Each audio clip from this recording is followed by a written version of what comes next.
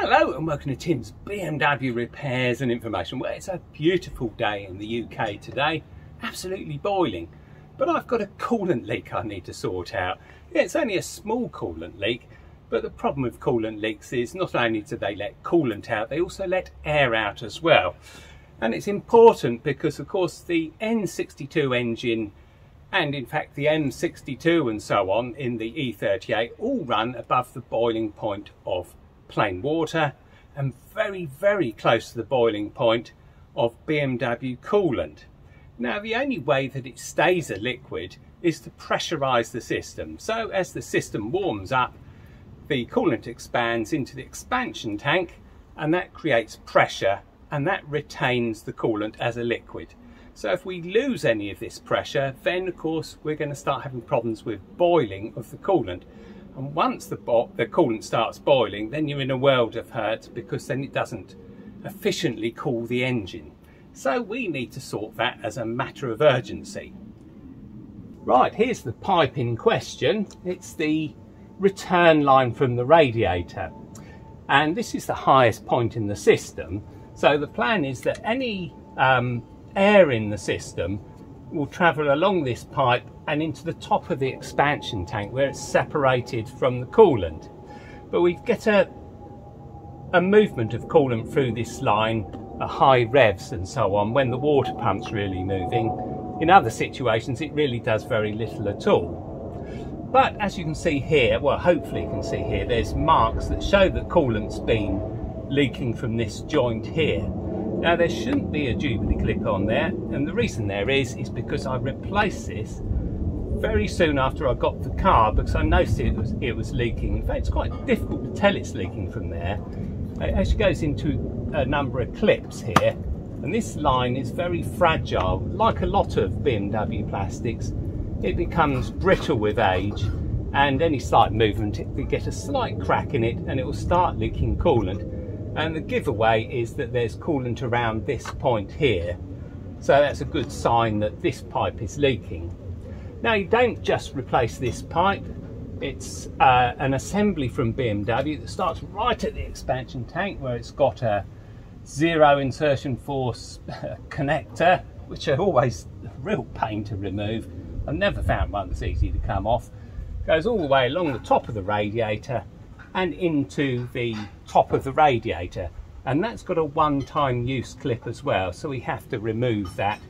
And as I say I hate these things. I don't mind putting them on if you've got the right tool but getting them back off again is a real pain. And of course the top of the radiator is probably quite fragile. We don't want to put any pressure on there. And I found the best way to get them off is with a pair of decent side cutters. So what we'll do is I'll get the assembly. Now of course when dealing with coolant, um, coolant is highly poisonous to cats and dogs and they're attracted by the sweet smell and taste. So it's imperative that if we have any slight leaks, and we will only have slight leaks from this as we remove it, that we wash them away uh, straight away so cats don't start come up and start slurping it because it is uh, highly poisonous and they do die a horrible death. So you've been warned, so let's get the replacement pipe. I'll show you that next. Right, here's the pipe, all one bit.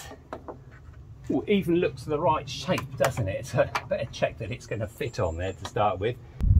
So it's a one-use clip as it goes on to the radiator and quick release thing at the other end. Um, so we're going to need a hose clip for this. So go and find a hose clip for that first and use a hose clip and not a Jubilee clip because hose clips are designed specifically for these hoses and they put an even pressure around them whereas Jubilee clips don't. They do it sort of like 270 degrees and the the last few degrees it doesn't put any pressure on at all. So there we go we've got the right one. Let's get on with it. Now here's a quick um, video of me removing a, one of these one-time use hose clamps on the bench to, so you can get a better look of it. Yeah, these obviously have a start point on them and with a pair of side cutters you can generally get them off.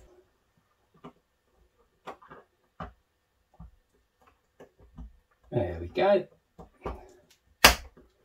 Took a couple of goes, but that's how it's done.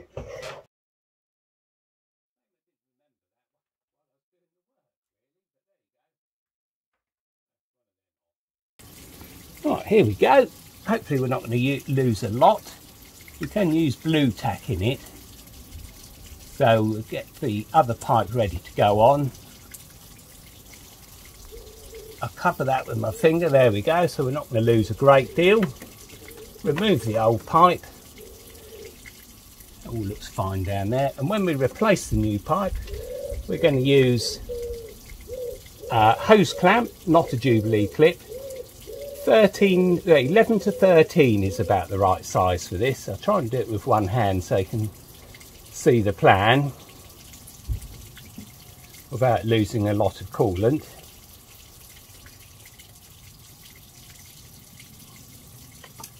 There we go. So when the new one goes on, that. There we go. So we're not going to lose a lot of coolant during this uh, repair. So that's good. That's on. I'm going to wash that clear and my hands.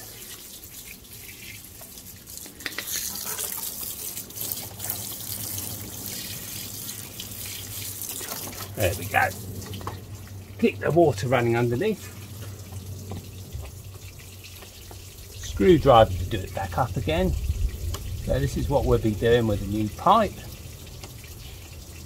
They don't need to be done up that tight. There's not a great deal of pressure here. As long as the pipe can't come off, that's fine. Right, let's move up to the other end.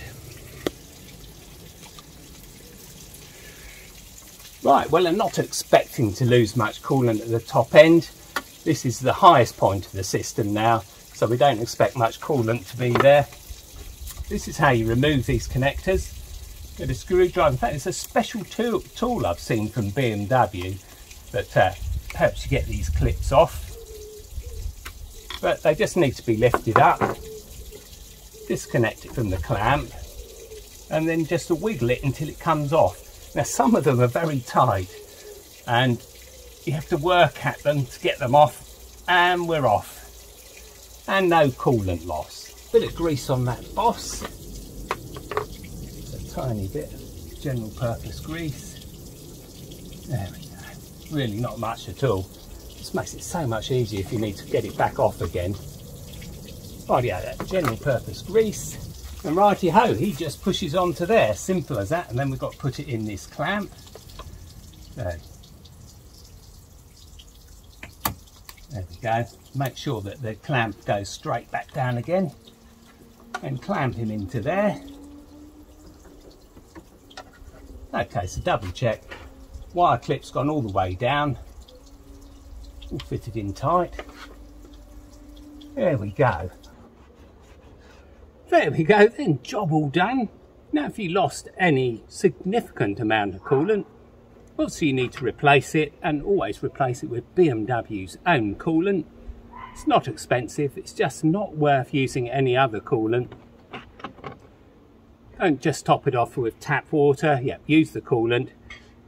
I don't need to, I lost just a tiny bit of coolant and my float's still floating nicely. Obviously take the car for a drive and make sure the float still is floating when, when the car's cooled down of course. But there you go, it's quite a simple job. Just remember about the cats and dogs and coolant being highly poisonous. We don't want to kill our pets, that's for sure. Okay, so quickly reiterate what we did. Very simple repair. Unclip the old one from there. Use the side cutters to get the one-time use clamp off. Have your new pipe ready. Pull it off, stick the new one on with the hose clip already in place. 11 to 13 mil is the hose clip size you need for that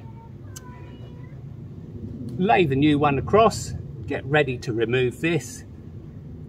Use a screwdriver to lift the clip up, have your new one ready, pull it out, quick wipe of grease on it, put the new one straight on and you're going to lose very little coolant altogether. And quite often you won't get any coolant at all coming out of here uh, because this is the highest point in the system. Okay, so that's it. Thanks very much for watching. Thanks for subscribing yeah, put a thumbs up if you enjoyed the video and it helped you, and I'll see you next time.